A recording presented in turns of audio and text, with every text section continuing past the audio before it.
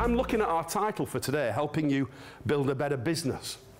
And it's, for me, it's about helping you build an awesome business, isn't it? Isn't it? Would you agree? Do you want to be awesome at what you do? Yeah. Some of you already are, aren't you?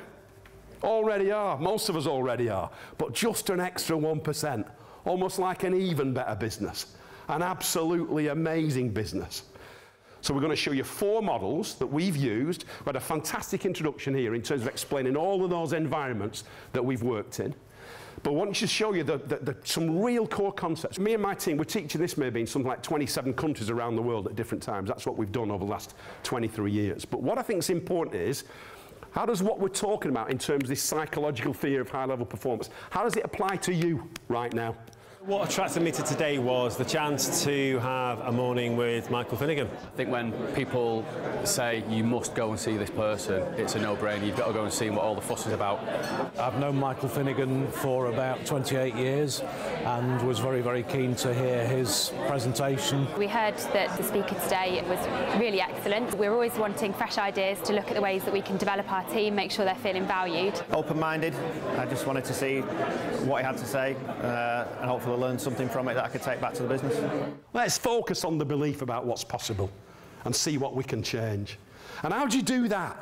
What's the key to this? People don't perform to the limit of their talent. They perform to the limit of their belief in their talent. It's the belief that limits us, not the talent.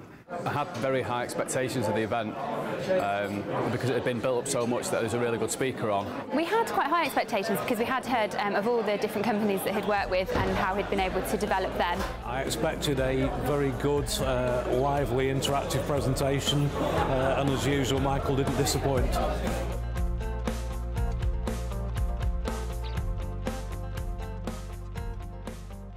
And you know, just for every single one of our team members, just to be a part of it, just to be involved, to be able to put that on your CV. I was a part of that. How good's that? For every single person in the business, just to buy into that. And that's what I want to talk us about today. I think these events are fabulous because they take you outside of your, your, your environment. It made me realise that I am doing the right things. I also learned that there's always ways to improve. It helps you put yourself into that very same scenario, so you, it, it's easy to take a lot from it because you can equate it to life experiences.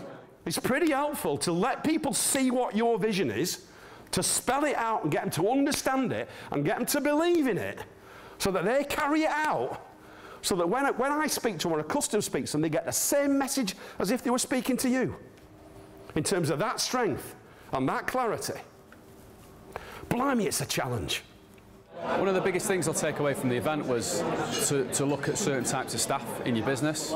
And what's really encouraging is that the, the vast majority of the people that we've got in the business fit right into the top right hand corner of, of those traits. So I'm really, really pleased that uh, we're, we're definitely on the right path as a business.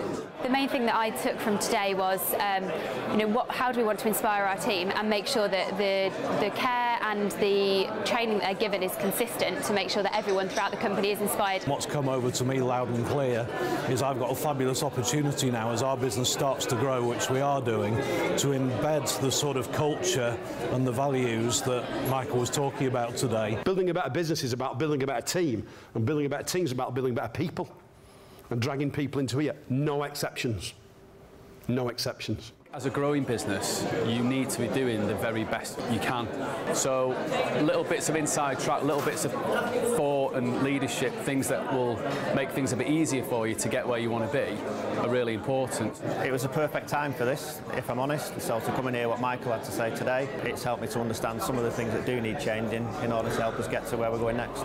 It's been a pleasure to be in such good company, in such a lovely setting, and an absolute pleasure to have heard Michael firsthand and meet him in the flesh. Why not? Let's go for everything we can go for. Let's just go for the best on the planet.